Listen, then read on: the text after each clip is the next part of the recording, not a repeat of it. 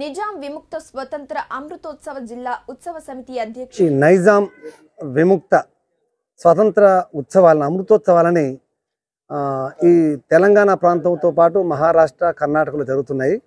అందులో భాగంగా పదిహేడు సెప్టెంబర్ రెండు వేల ఇరవై రెండులో ప్రారంభమైంది. జాతీయ పతాక ఆ పతాక ఆవిష్కరణతో ప్రారంభమైంది. రకరకాల కార్యక్రమాలు ఈ సంవత్సరం అంతా నడపాలని ఈ ఉత్సవ సమితి నిర్వహించడం జరిగింది నిర్ణయించింది.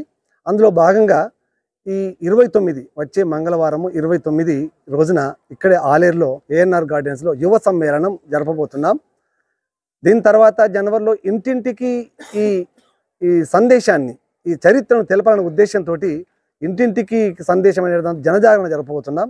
తర్వాత ప్రతిష్ఠిత వ్యక్తులతో కూడా పెద్ద పెద్ద వాళ్ళతో కూడా ఈ సమాజంలో మార్పు తీసుకోవడానికి వాళ్ళ యొక్క సహకారం తీసుకోవాలని ప్రతిష్ఠిత వ్యక్తులతో కార్యక్రమం నిర్వహించబోతున్నాం.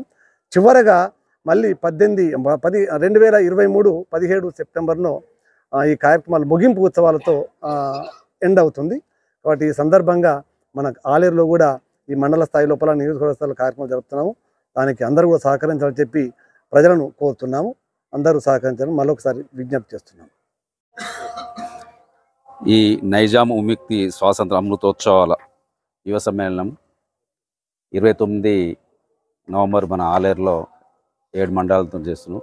ఇది మనకు స్వాతంత్రం నైన్టీన్ ఫార్టీ సెవెన్లో స్వాతంత్రం వచ్చింది బ్రిటిష్ వారి నుంచి. స్వాతంత్రం వచ్చి మనకు అప్పుడు మనం నైజాం పరిపాలన కిందకు ఉన్నాం.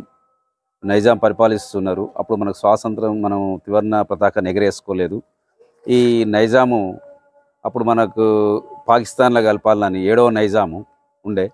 ఏ పాకిస్తాన్ కలపాలని అతను అనే మనం స్వతంత్ర ప్రతిపత్తిక మీద హైదరాబాద్ను మన కర్ణాటక మహారాష్ట్ర కొన్ని మొత్తం పదహారు జిల్లాలు తెలంగాణ కలిపి ఈ నైజాం పరిపాలించేవాడు. మళ్ళీ తర్వాత మనకు పదమూడు నెలల తర్వాత ఫార్టీ సెవెన్ మనకు వస్తే ఫార్టీ ఎయిట్ సెప్టెంబర్ సెవెంటీన్త్ రోజు ఇది ఆపరేషన్ పోలో అని అప్పుడు మూడు ఐదు రోజులు మన ఇండియన్ ఆర్మీ వచ్చి ఇక్కడ మూడు దిక్కుల తెలంగాణను చుట్టుముట్టి ఈ రజాకారులతో పోరాడి అప్పుడు పోరాడిన తర్వాత ఏడవ నైజాం అప్పుడు నైజాము సరెండర్ అయ్యిండు అప్పుడు మనకు స్వాతంత్రం ఎప్పుడు వచ్చింది పదమూడు నెలల తర్వాత వచ్చింది. మనకు ఒక సంవత్సరం తర్వాత అప్పుడు స్వాతంత్రాన్ని ప్రకటించారు. ఐదు గంటలకు రేడియోలో ప్రకటించారు.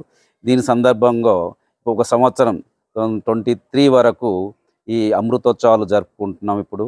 ఇది సెప్టెంబర్ సెవెంటీన్త్ మనం ఫ్లాగ్ ఎక్స్చేంజ్ చేసాం ఇది రెండవ ప్రోగ్రాము. ఇది యువ సమ్మేళనం. అంటే యువకులకు ఎయిటీన్ ఎయిటీన్ ఇయర్స్ నుంచి థర్టీ ఫైవ్ ఇయర్స్ అంటే ఏజ్ యాభై సంవత్సరాలు అరవై సంవత్సరాలు నలభై సంవత్సరాల అబవ్ వాళ్ళకు మనకి ఎలా వచ్చింది స్వాతంత్రం అనేది తెలుసు. కాబట్టి యూత్కు యువకులకు తెలియదు ఆ ఉద్దేశం ఉంది యువ సమ్మేళనం అని.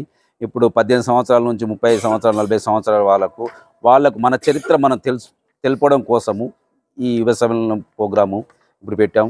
ఇప్పుడు నెక్స్ట్ జనవరిలో కూడా ఇంటింటి ప్రోగ్రాం ఉంటుంది.